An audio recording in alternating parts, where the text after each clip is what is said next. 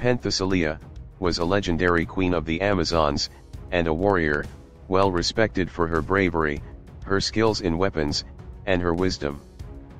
She led an army of Amazons to Troy, to fight against the Greeks. She was said to have killed Achilles, but Zeus brought him back to life, and Achilles killed her.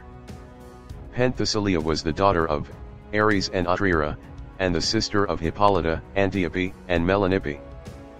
Penthesilea, was highly skilled with weapons, she was very wise, and she was beautiful. It has been said that, she invented the battle axe. While hunting one day, Penthesilea accidentally killed her sister, Hippolyta with a spear. This caused Penthesilea a great grief, and led her to wish for death. However, as an Amazonian warrior, she could only die honorably, and during battle. Penthesilea's reign as queen, was during the years of the Trojan War. The Amazons did not take a particular side in the war.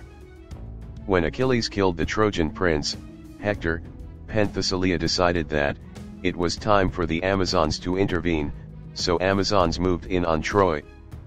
So, when dawn came, Penthesilea put on the armor and arms, given to her by her father Ares, and set out onto the battlefield.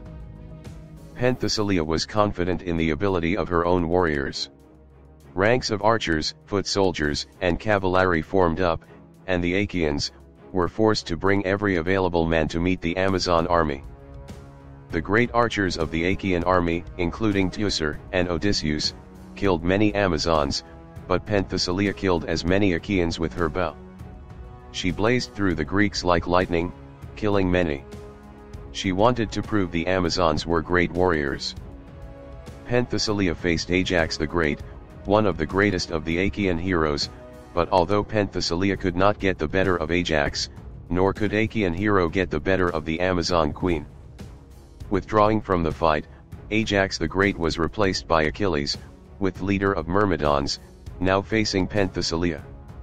She wanted to kill Achilles, to avenge the death of Hector, and she wanted to die in battle. Achilles had seen her battling others, and was fascinated with her ferocity and strength. As he fought, he worked his way towards her.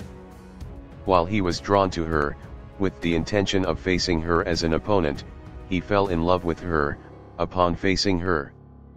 However, it was too late. The spear of Achilles went through Penthesilea's armor, killing the queen of the Amazons.